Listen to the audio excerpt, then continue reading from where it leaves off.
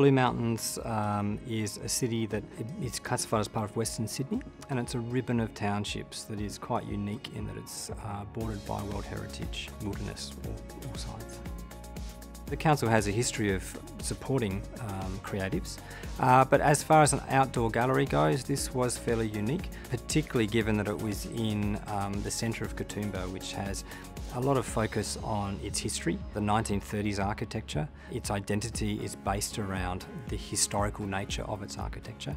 So to propose an outdoor spray art gallery space, spraying directly onto walls, uh, was quite a, uh, a, a big initiative to undertake.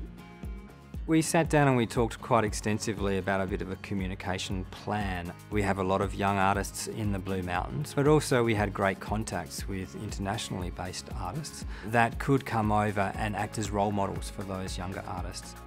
All artists can go onto our website and download the very simple application form.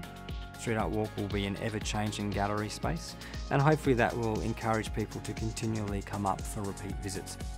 One of the great benefits of the Street Art Walk is it gives yet another thing to try and hold people a little bit longer in Katoomba so they can experience the town and experience all the unique things that we have in the town. Street Art Walk very soon, within six months after it being completed, already registered four and a half stars on TripAdvisor. It pops up as uh, one of the top 10 things to see in the Blue Mountains.